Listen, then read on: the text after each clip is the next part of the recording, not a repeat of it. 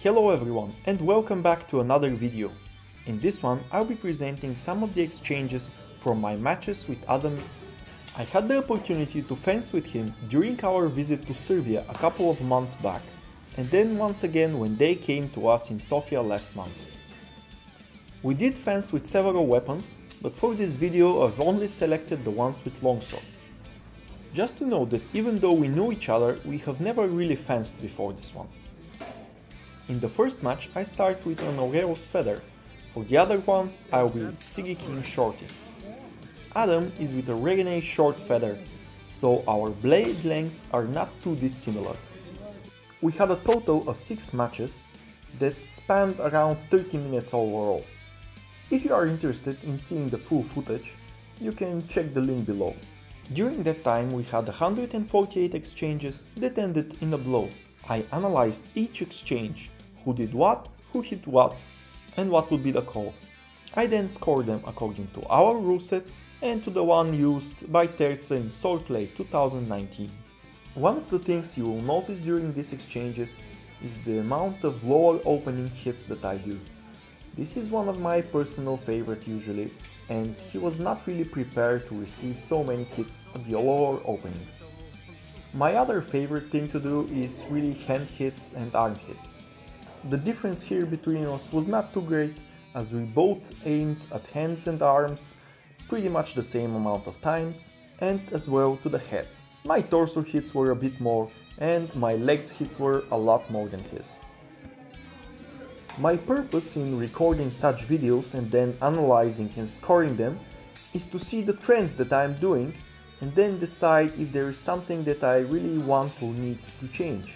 Of course it's limited, it's only a few matches, only around 30 minutes of sparring, but this is a way for me to check how do I play against one certain opponent. Whenever I do something like that, I know that the way I fence of course depends on the way my opponent plays as well. Still, I find this a good way to analyze my play and perhaps get better in the future. What you will notice with Adam's play is that he's fencing extremely cleanly. He rarely tries to go for doubles or after blows just to do it.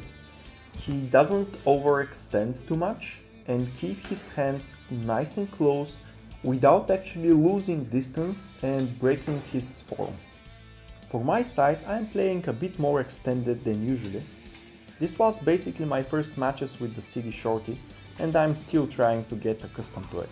I'm also trying to do a bit more direct counterattacks, as it's something that I've been working on, and this can lead to some nasty doubles.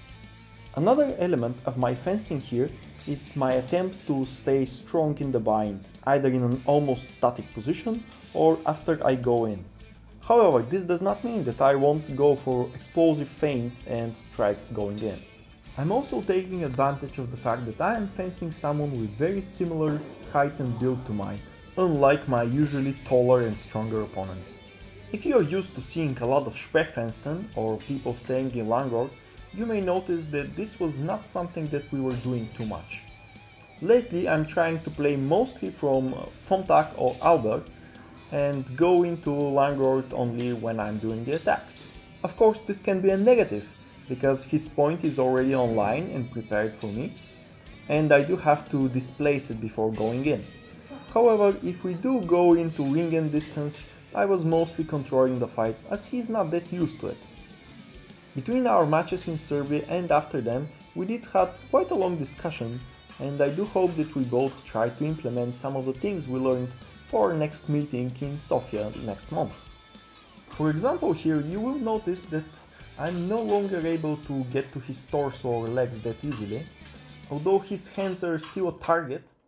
He also improved his feinting quite well, especially going for a sphere to my left side.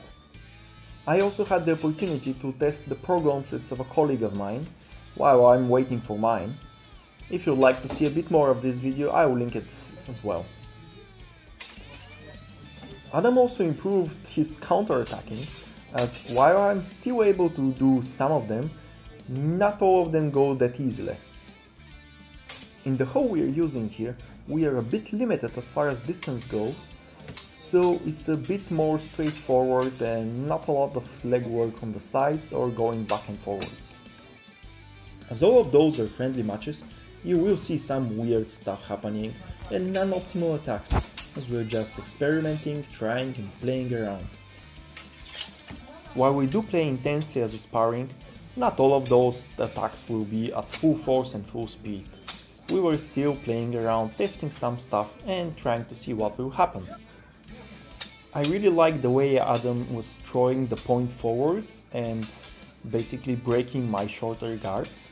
So this is something that I'm currently working on as well because it's something that's really useful when you're trying to get into the opening first and defend afterwards.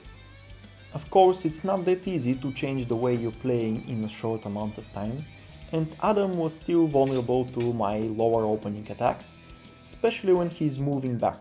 Also, my Schielhau to his face still worked, and it's something that I'm continually improving.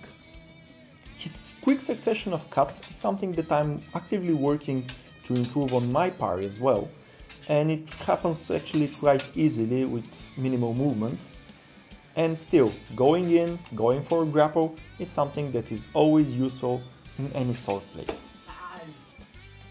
I hope you liked this video, because it was great fun fencing with Alan and I hope to be able to do it again. See you next time.